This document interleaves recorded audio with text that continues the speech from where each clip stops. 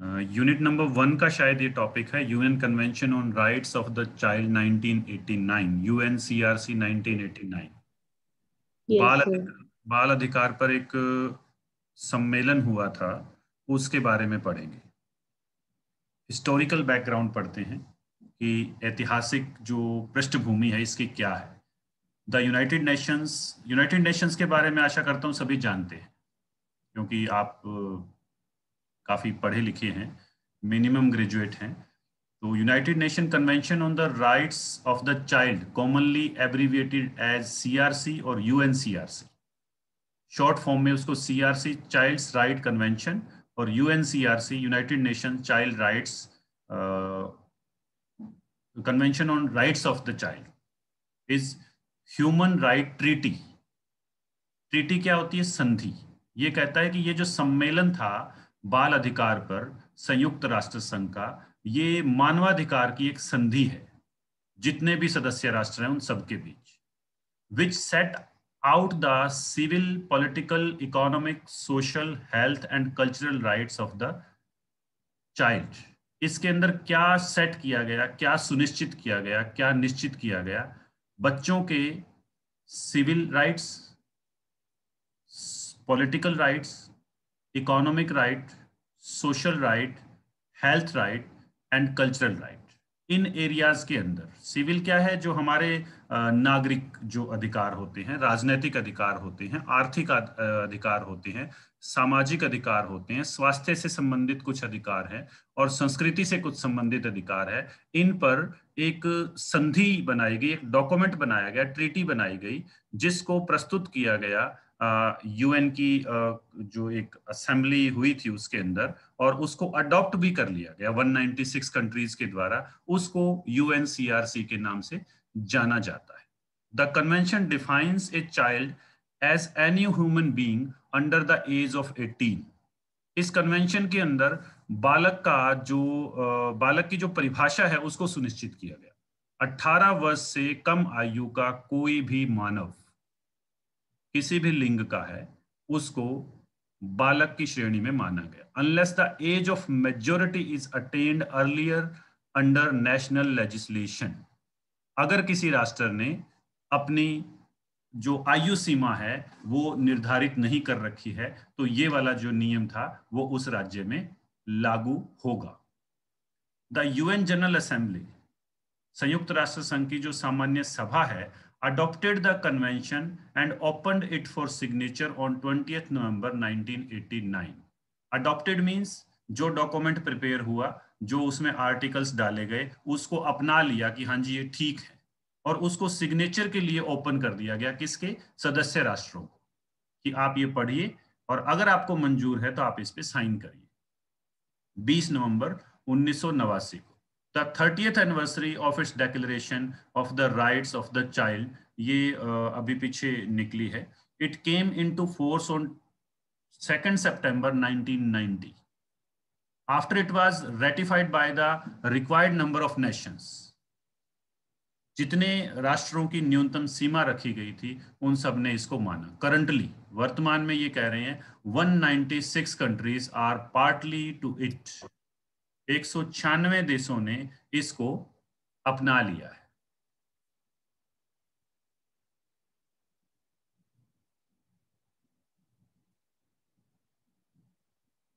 Including every member of the united nations except of united states USA ने नहीं अपनाया है, बाकी सभी ने अपना लिया है। आगे बढ़ते हैं।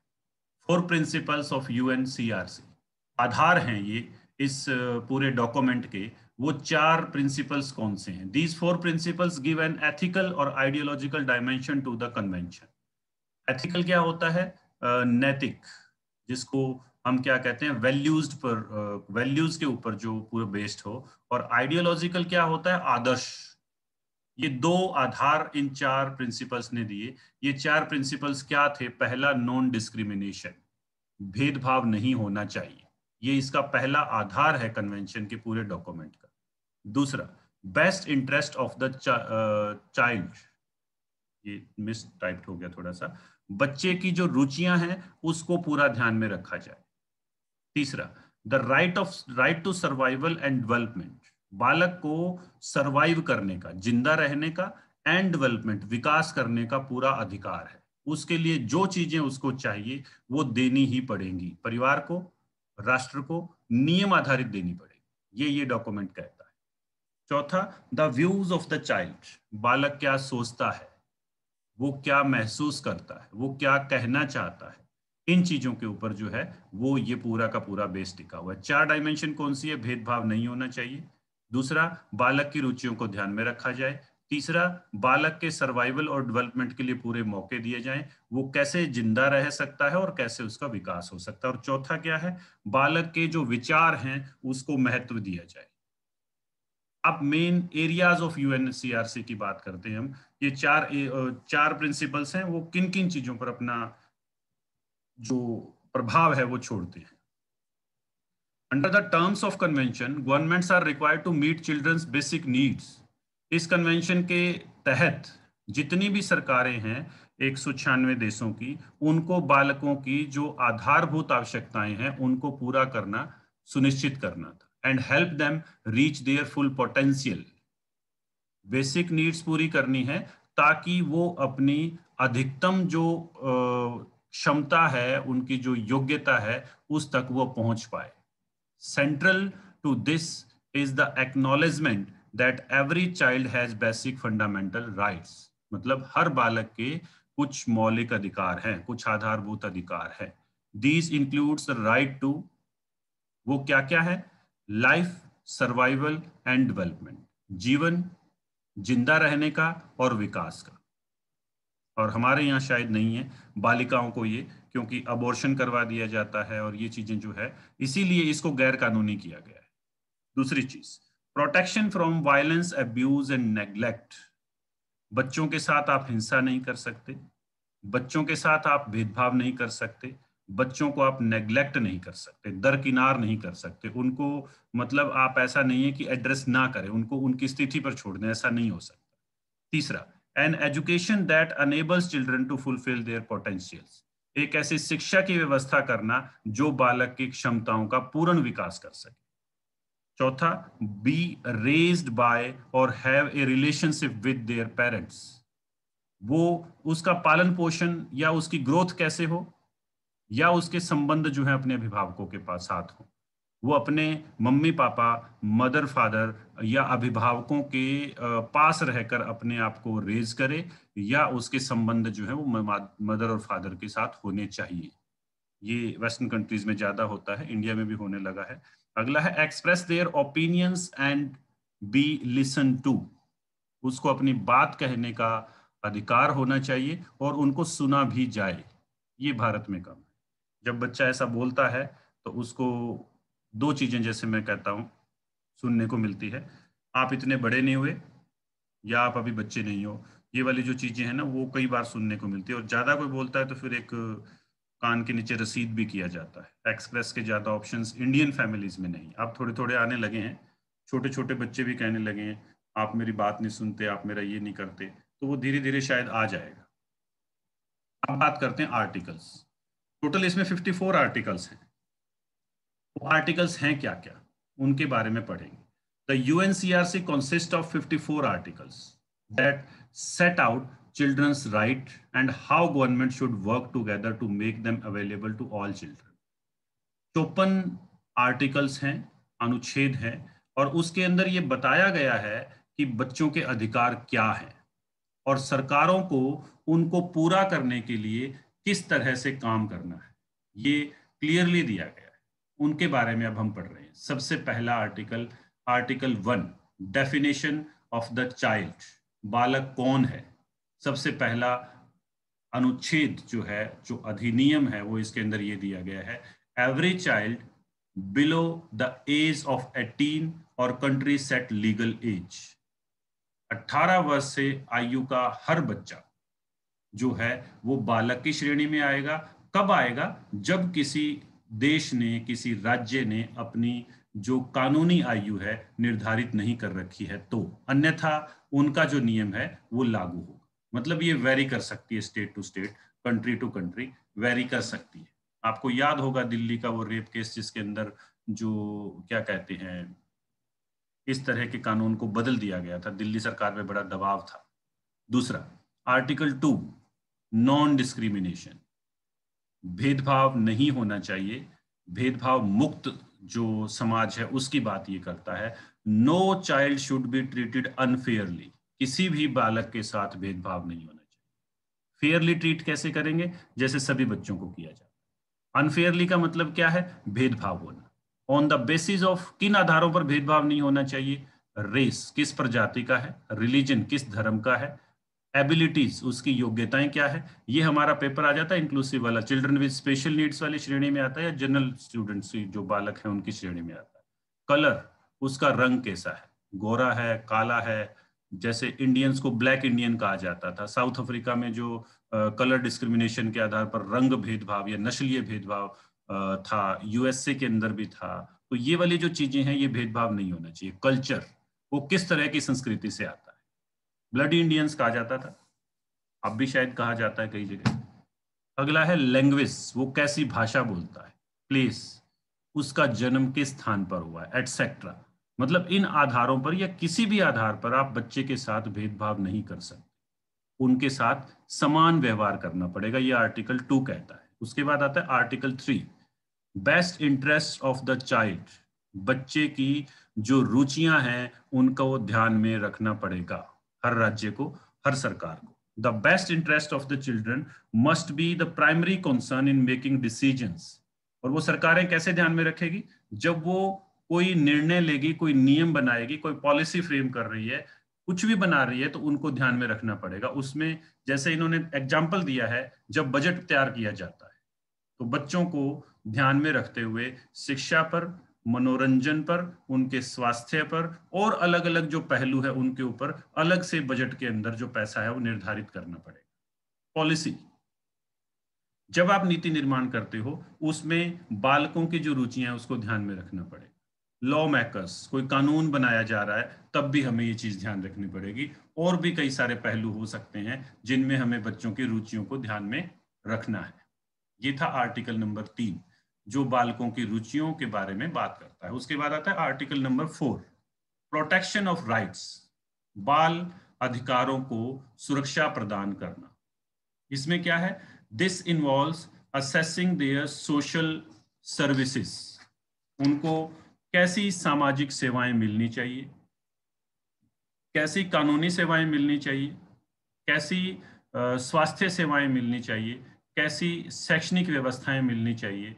और उनके लिए कैसा वातावरण तैयार किया जाए ताकि वो सही तरीके से अपना विकास कर सके और अपने अधिकतम क्षमताओं तक पहुँच सके। इन एरियाज़ के ऊपर उनको प्रोटेक्ट करना है, सुरक्षित करना है। क्या क्या इश्यूज़ हैं? सोशल सर्विसेज़ सामाजिक सेवाएँ।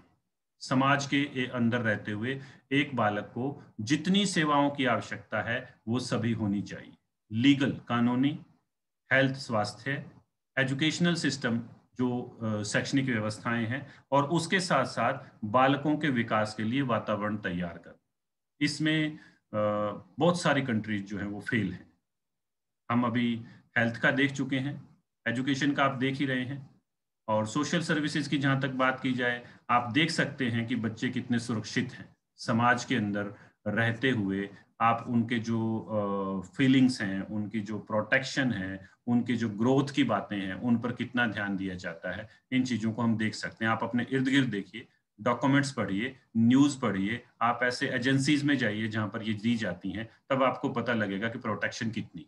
उसके बाद है आर्टिकल फाइव पेरेंटल गाइडेंस जो अभिभावक है, उनके मार्गदर्शन की ये बात करता है protect and assist family in fulfilling their essential role role as nurture nurturers of children जो परिवार है, वो क्या करता है? बालक को नर्चर करता है, उसका पालन पोषण करता है।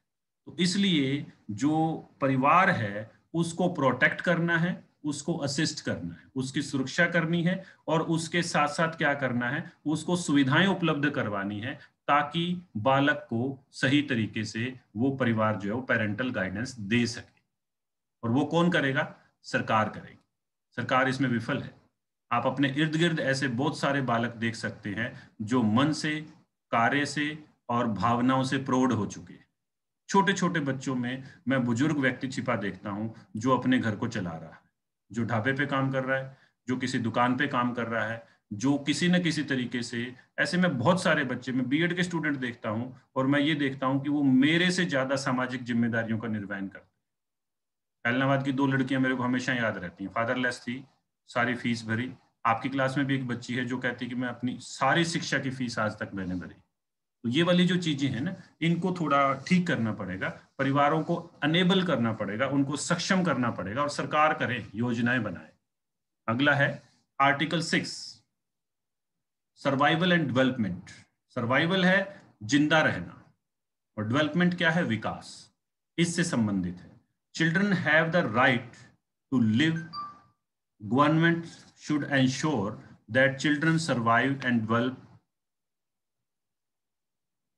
healthily बालक का ये अधिकार है कि वो ठीक से अपना जीवन जिए और विकास करे। तो सरकारों को ये इंश्योर करना है, ये आश्वस्त करना है कि हर बच्चे को वो सरवाइव और डेवलप हेल्दीली जो इन्वायरमेंट है, वो वो प्रदान करे। कि किसी भी बच्चे को ये ना लगे कि मैं ज़िंदा कैसे रहूँगा, मेरे पास तो ये चीज़ें ही नहीं और दूसरा, वो स्वस्थ रूप से अपना विकास कर सके। ये था आर्टिकल नंबर सिक्स अब आते हैं आर्टिकल नंबर सेवन पर। Registration name nationality and care ये चीज़ क्या है? ये कहता है कि हर बच्चा जो है उसका अधिकार है कि उसका नाम लीगली रजिस्टर्ड हो कानूनी रूप से रजिस्टर्ड आप देखते हैं कि अब जैसे ही बच्चे का जन्म होता है उसका बर्थ सर्टिफिकेट बन जाता है। उसका नाम वहाँ दर्ज होता है। अब तो आधार कार्ड भी वहीं बनने लग गया है। और ये इसी प्रोसेस को पूरा करने का नेशनलिटी वो किस राष्ट्र का नागरिक है? और उसकी केयर किस तरह से होनी चाहिए, ये चीज़, ये आर्टिकल जो है वो सुनिश्चित करने की बात करता है। और ये कौन करेगा? ऑफिशियली रिकॉग्नाइज करेगी सरकारें। सरकार को ऐसा सेटअप बिल्टअप करना पड़ेगा कि इन सारी चीज़ों को प्रोटेक्ट कर सके। आप, मेरे वाली पीढ़ी जो आपसे पहले वाली या उससे पहले वाली पीढ़ी को देख लीजिए, ना तो उनको बेचारों को, जो हमारे बुज़ुर्ग हैं, उनको शायद डेट ऑफ़ बर्थ याद नहीं है। अब तो टाइम घंटा, मिनट, सेकंड, सारी चीज़ें होती है, परंतु उनको नहीं याद है। तो वो वाली जो चीज़ है, वो बड़ी समस्यात्मक है। अभी पिछले दिनों में एक डीएसपी है हिसार के अंदर उनसे मिला। वो कहते हैं कि मेरी जो एज है, वो साढ़े तीन साल छोटी लिखवा दी टीचर ने। दोनों भाइयों के सेम कर दी, पंद्रह अगस्त को ईयर डाल दिया। अब वो कहते हैं कि रिटायरमेंट में जो मेरे को फ़ायदा मिलना था, वो नहीं मिलेगा। अब अगर स्ट्रक्चर ठीक होता तो ऐसे हज़ारों लोग हैं या लाखों लोग हैं जैसे इनके साथ हुआ है, वैसा नहीं होता। अगला है article number eight, preservation of identity, पहचान को सुरक्षित रखना, संरक्षित रखना। An official record of who they are एक सरकारी कानून, नियम या दस्तावेज़ होना चाहिए जिससे पता लगे कि वो कौन है। Government should respect children's right to a name a nationality and family ties किन किन चीज़ों को प्रोटेक्ट करेगी, वो प्रिजर्व करेगी। बच्चे का नाम क्या है, किस देश का है, उसके परिवार में कौन कौन लोग ये चीज़ सुनिश्चित करना ज़रूरी है। अब ये ज़्यादा बेहतर होने लगा है, क्योंकि हमारी सबकी अब एक इंडिविजुअल आइडेंटिटी हो गई है। जैसे फैमिली जो पहचान, परिवार पहचान पत्र है, वो बन रहा है। आधार कार्ड सबसे बड़ा वो हो गया जैसे आजकल कहते हैं ना, कोई खो जाए तो उसका अंगूठा जो है वो उसके ऊपर स्कैन कर लीजिए, पता लग जाएगा कि बच्चे की आइडेंटिटी क्या है। हम उस तक पहुँच सकते इस तरह के रिकॉर्ड की ये बात करता है। अगला है article nine separation from parents परिवार में तलाक हो जाता है, बालक दूर रहने लगता है, या मदर फादर दोनों वर्किंग हैं, वो किसी और देश में काम करते हैं, उन वाले बच्चों के लिए ये बात करते हैं। Children have the right to live with the parents बच्चे का यह अधिकार है कि वो अपने अभिभावकों के साथ रहे। Children whose parents do not live together किसी कारण से have the right to stay in contact with both parents वो अपने दोनों अभिभावकों के साथ कॉन्टेक्ट बनाकर रख सकता है unless this might hurt the children कब तक रख सकता है? जब तक ये चीज़ उसको हानि ना पहुँचाए। अगर हानि पहुंचाता है और उसको लीगली प्रूव कर दिया जाए कि ये पिता जो हैं, उनके पास रहने से इसको दिक्कत है या माँ के पास रहने से दिक्कत है तो लीगली उसको उससे मिलना रोक दिया जाता है। डाइवोर्स केसेस की ये बात हो। अगला है article number ten, family reunification. Reunification क्या है? कि परिवार को फिर से इकट्ठा करना, जोड़ना, एक साथ करना। Family, families, whose members live in different countries ऐसे बहुत सारे देश हैं, विदेशों के मामलों में तो बहुत लोग हैं। Should be allowed to move between those countries so that parents and children can stay in contact उनको राइट right है कि वो अपने बच्चे से मिलने के लिए दूसरे देश में आ जा सकते, ताकि वो अपने बच्चे को मिल सके। और इस बेस पर बहुत सारे पेरेंट्स जो है, वो एक देश से दूसरे देश का वीज़ा जो है, वो लगवाते हैं और वो लग भी जाता है। क्यों? क्योंकि वो प्रूव करते हैं कि हमारी फैमिली जो है, वो रीयूनियन हो जाएगी। इस बेस पर हमें ये मौका दिया जाए। नेक्स्ट है आर्टिकल 11 किडनैपिंग बहुत होती है। अपहरण जिसको हम कहते हैं। पता ही नहीं लगता। अभी मैं न्यूज़ पढ़ रहा था, चौटाला के 12 साल की लड़की ग्राउंड जा रही थी, मिली नहीं। न्यूज़ ही नहीं आई बाद में, तीन चार दिन पहले की घटना है। कहाँ जाते हैं ये बच्चे? कौन ले जाता है इनको? क्या होता होगा इनके साथ? कब हम इनको ट्रैक कर पाएँगे? उन अभिभावकों पर क्या बीतती होगी? ये वाली चीज़ें जो है ना, ये कंसर्न की बात है। बड़ा इन पर ध्यान देने की ज़रूरत आर्टिकल 11 क्या कहता है? Government should take step to stop children being taken out of their own country illegally ये जो किडनैपिंग होती है, दूसरे देशों में भेज दिया जाता है। वो जो इलीगली एक स्थान से दूसरे स्थान पर लेकर जाना है, अपहरण करके उसके खिलाफ सरकार जो है वो कड़े से कड़े कदम उठाए। नेक्स्ट है article twelve twelve respect for the views of the child ये हम सबकी ज़रूरत है। मेरे छोटे छोटे बच्चे हैं, उनकी ज़रूरत है, आप सबकी भी ज़रूरत है। इस मामले में बालक जो है वो घुटन सी महसूस करते कि हमें बोलने नहीं दिया जाता, हमारी बातें सुनी नहीं जाती, हमारी बात को महत्व नहीं दिया जाता। कुछ परिवारों में बोला जाता है तो चुप करवा दिया जाता है। कईयों में तो सांस निकालने की भी इजाज़त नहीं होती।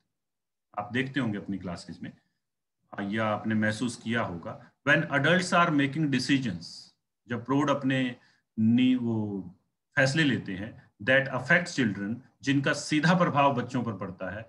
Children have the right to say what they think should happen and have their opinion taken into account बच्चों के पास उन सभी मामलों में अधिकार है कि वो इसके बारे में अपनी मत या राय जो है वो रखें और उसके साथ उनको माना भी जाए। ये आर्टिकल 12 कहता है। अगर ये व्यवस्था हो जाए तो हमारे यहाँ की जो पारिवारिक और सामाजिक व्यवस्था है, उसमें बहुत बड़ा बदलाव आ जाए। Involve children in decision making ये पूरे का पूरा निचोड़ क्या कहता है? जब भी हम कोई फैसला लेते हैं, उसमें बालक को इन्वॉल्व किया जाए। आर्टिकल 12 ये कहता है। और नहीं किया जा रहा है अभी भी।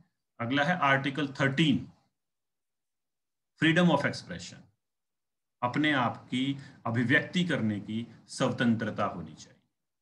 ऊपर वाले से ही प्रारंभ होगी। जब थोड़ा थोड़ा परिवार में बोलने दोगे तो वो बाहर जाकर और हर जगह अपने आप को एक्सप्रेस कर पाएगा। दब्बू बच्चा कब पैदा होता है? दब्बूपन कब उस पर हावी होता है? जब हम उसको परिवार में ही दब्बू बना देते तो ये वाली जो freedom of expression article thirteen है, ये बालक को निखारने का, उभारने का, उसका पक्ष करता है। Children have the right to get and share information बच्चे के पास अधिकार है कि वो सूचनाओं को प्राप्त करे और दूसरों तक भेजे।